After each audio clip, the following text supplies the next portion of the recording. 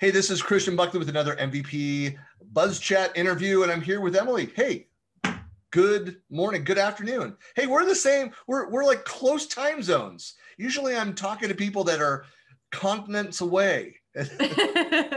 yeah, I'm uh, Emily Mancini, an architect at Sympraxis Consulting, and I am based out of St. Petersburg, Florida. All right. And uh, how long have you been an MVP? Uh, about a week and a half. A week so, and a half. Yeah, exciting times. I'm on this stint of all like the brand new people. I see like the like the now people don't uh, realize this too that it used to be that uh, MVPs were uh, were added on a quarterly basis. Is now they can be added, you know, every month. And so when you see those notifications hit LinkedIn, I usually go and I stalk that the MVP buzz hashtag. Who's new? Who's like excited about it and, and like a great time to introduce you, to get to know you, the get to know me interview. So, well, why don't you give us some of your background? Like, how long have you been in space? What's your MVP, your your your practice area? Uh, office apps and services. So I specialize in user experience and information architecture. And I've been at Sympraxis Consulting for just about two years. Before joining Sympraxis, I actually worked with Marc and Julie um, as I was a platform owner at a biotech. So they were one of the partners who helped us do our custom development. So I've known them for quite a few years. So it was uh, quite the dream job to then leave there and join them and be at Sympraxis with our amazing group of Marc, Julie, Todd, yeah. Derek, and Mike. They they are great. And I know everybody on the team, friends with them for a long time. So I, I miss seeing uh, uh, Marc is a great. Uh, he has a great sense of humor, but uh, it, it's always great to do something that's just silly and ridiculous, and he automatically plays like the the straight face, like I don't know what you're talking about. Kind of. it's great to play off of, but always enjoy being around that team. And Todd, of course. Uh, like to poke fun at him all the time. But uh, some smart people, great team over at Sympraxis, though. Those that aren't familiar, go take a look if you can figure out how to spell it. I think you guys probably should have variations of URLs that you own for people that don't know how to, to, to find it, but it's pretty much spelled the way that it sounds. Well, yeah based based off a Greek word for collaboration. So for those who are fluent, you know, maybe not as hard to spell. It's uh, we're simpatico. I mean, my I've got Collab Talk, which is my community effort, so it's all about collaboration. Well, very cool. So, what's the, some of the stuff that you talk about and present it? Because I know everybody at Sympraxis is very involved in community activities as well. So, what kind of stuff are you out talking about? So it's been a pretty exciting week and a half. I also just joined the PNP team. So I'm part of the Sharing is Caring initiative. So a part of that kind of overlaps with all the other areas that I'm interested in, which are also the Microsoft community docs, which I know Marc has been working on for quite a while. So creating that documentation for the businesses and IT pros under Microsoft Community Docs, I'm also working on the maturity model for Microsoft 365. So something that Sadie Van Buren kicked off quite a few years ago. I talked a lot about that. So yeah, very involved. In fact, I did a governance version of that and a social collaboration version of that years ago, all built off of Sadie's work. Yep. Oh, excellent. Well, uh, we probably have some upcoming initiatives that we'd love your feedback on. And always feel free to go into that repo, read those articles, and give us some uh, feedback I, on I, what you think I, about often, the updates. you know, I point people to the the work that was done, the stuff that's on the docs now. So I know that there's been some partners like Peter Carson up in Canada and other, you know, Eric Riz also up in Canada that have been doing some work around the maturity model and kind of mapping that to to tools and and uh, and and working that into their consulting practices as a way, which I think is a really smart thing. And I Microsoft has written some articles as well where they're encouraging that kind of thing for partners to go and do. Makes sense. Yeah, we see a lot of organizations not really knowing they turn it on and they're like, great, we're all going to work together a lot better now. But they're really trying to not missing that framework of, well, what do I want to be doing and where should I be depending on these different aspects of your organization? Because for example, six person company like Sympraxis, we don't necessarily need the same maturity that you need at a 30,000 biotech, right? right. Well, that's that's the thing. It's one of the most common questions that I I hear. I say this a lot, so I'm feel like I'm repeating myself, but uh, new to you, Emily. Uh, but uh, where, where people want very prescriptive guidance, they want to know specifically like which tools do I use at which part? How, how is the you know the the kind of the orchestration of the various tools? How do I make it work within it? And and they don't like the answer of well, it really kind of depends. It depends on the size of your organization, the collaboration culture of your organization. What are people accustomed to? Are you very process oriented, or is it more social or email based? Is it more project management based? Um, task based. And, and each of those, you can have a completely different uh, assortment of solutions that you might uh, add into the mix. And so, what's great about having something like the maturity model concept is to have an idea to go in and, and assess where you are. And it's great to get help from a partner to help do that assessment but assess where you are and then just and, and, you might be fine at that level i'm we're at a level i know what you know cmm level like level two do I need to be a level five? No, I think three is really where we want to be in this category. And to do that per workload and think about overall, I mean, it's it's a it's a healthy operational activity to constantly assess and reassess uh, where you are and look at what else could we be doing. That's what digital transformation is all about. Knowing where you are today and where you want to be tomorrow, and then figuring out a path to get there. That's digital transformation. Agreed. And, you know, not just based off the tech, based off of real business need right. to support what the business is doing. And I feel like that's where people get lost really often is, yeah, I get really excited about cool new tech as well. But if it's not relevant to helping my business, that's not necessarily where I should be spending my time. Right. Well, that's always the look, I, I started my career a long time ago as a technical project manager and i worked on projects where i was given like a directive like you will go and deploy in this technology and we deployed some beautiful things it is highly functional and then, then nobody used. Guess what it was looked at as viewed at? A failure. Yeah. I did it right. I did what i was asked to do but then my name was attached to something that nobody used and then therefore and, and adoption and engagement were never didn't really factor in. I did the trainings like people were onboarded. I, yeah. It off the list, but then people weren't using it. And that's why understanding why it's so important, like the culture of your organization and what do we really need to be doing? Because um, at the end of the day, you know, like collaboration technology, we used to say this about SharePoint all the time. Um, and I was always one of these people that's like, sometimes it's okay to be a laggard and to stay on the older version that you've customized and do that if it's meeting those business needs. There's that opportunity cost. There's new features, there's new capabilities, better integrations, all those kinds of things. And if the value of those things is greater than the cost of getting there, the time, the expense, all that kind of stuff, then it, it might be, hey, you're fine to stay where you are for now. Right. Yeah. And Microsoft hopefully, yeah. Hopefully sellers hate that i should say. Yeah that, that's fair that's fair.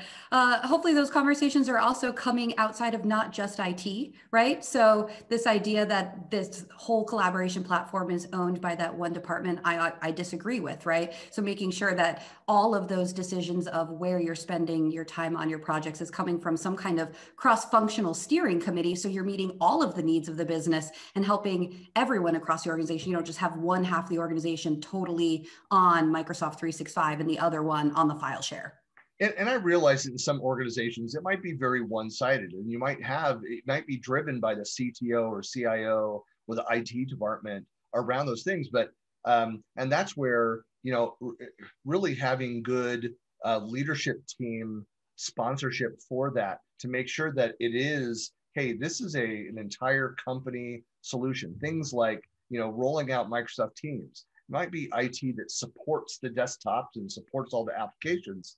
Um, but uh, you know, again, it, it can't be a tech-driven deployment. It needs to fit in, and there needs to be ongoing, you know, uh, community management, you know, success management type uh, uh view of the world, and and uh, and then discussion about how do we uh, make this a better solution for all of the business needs and, and that ongoing, it's, it's a change management discussion. And Absolutely. Of, most organizations are really bad at change management.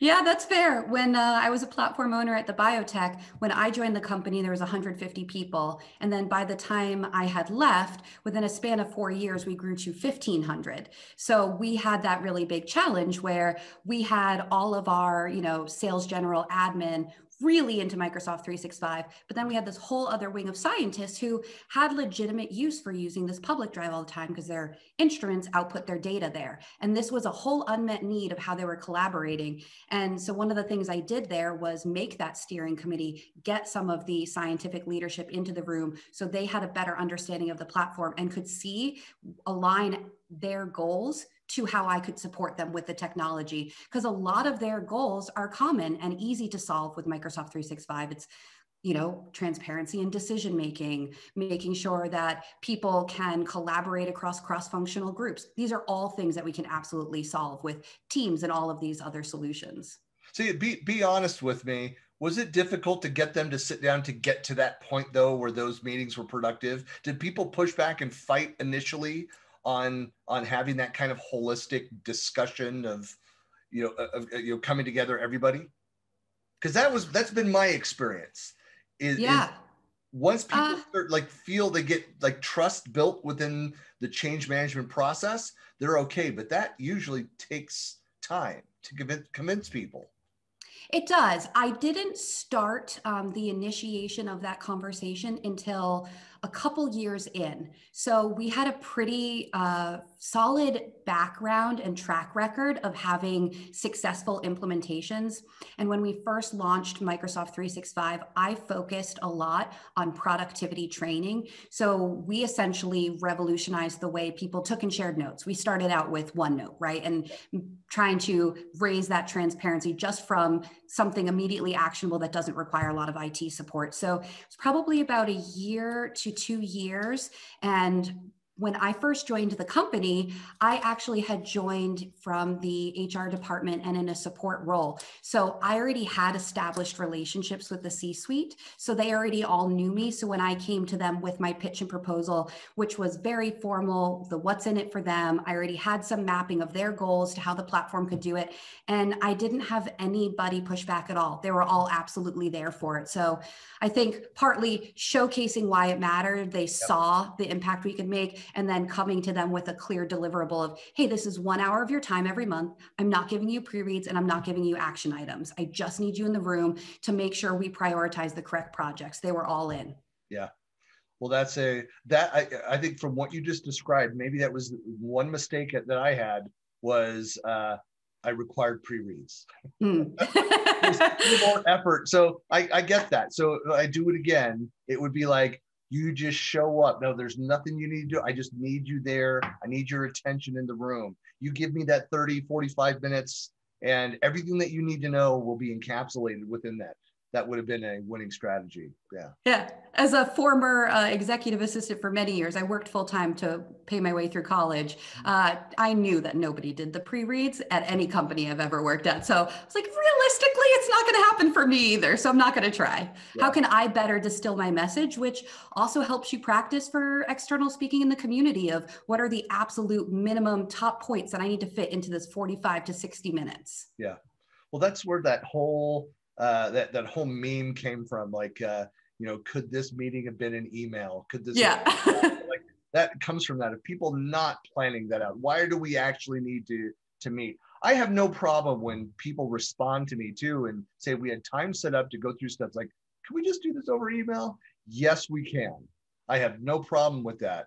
You know, we don't need to go through the rest of it, talk about weather for five minutes, and then go th- go through that structure. So no, that that is great. Well, it's really cool. So, what else is uh, what's coming up in this Sympraxis world? What are you guys working on? What are you doing? Anything that you want to share with the community?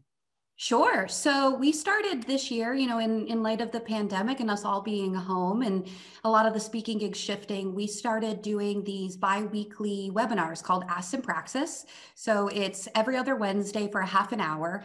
And we always have a topic, but the goal is also to have it be kind of like an open office hours where we have our pre-canned presentation should no one have a lot of questions, but we're also here to talk through hearing what our clients and anyone in the community is thinking about and trying to work through. So we just did one this week. Um, it, we called it the Todd Show because it was about PowerShell and what's new in PowerShell. Oh, it wasn't about Todd. Okay, that's good. yeah. no, it was not. And then let's see, I'm looking at my calendar. The 24th, we're doing another one, and it's all going to be about uh, reactions to Viva and talking about uh, what's going on there. Yeah, I'll be interested to uh, to check that out and your responses to that. I think there's a longer discussion. We won't get into it, but given your uh, your background with uh, you know the the classification of data, metadata, and all that kind of like that side of things, and from the SharePoint world, and get your thoughts. I certainly have mine uh, uh, uh about uh, Aviva and what it will take for people to actually start using the the new capabilities. It, it's going to be an interesting discussion, ongoing discussion. Yeah, we're actually it's the it's the topic. I can't remember if I included you in the invites that I just sent out for this month's Tweet Jam is oh nice. I would love to. And it's uh you know i love that kind of stuff just i'm sure just like you guys are doing you you're going to present on stuff but i'm more interested in the, to hear the questions what kind of questions that people have? And just kind of broad community pulse to the of the community what are people thinking about this?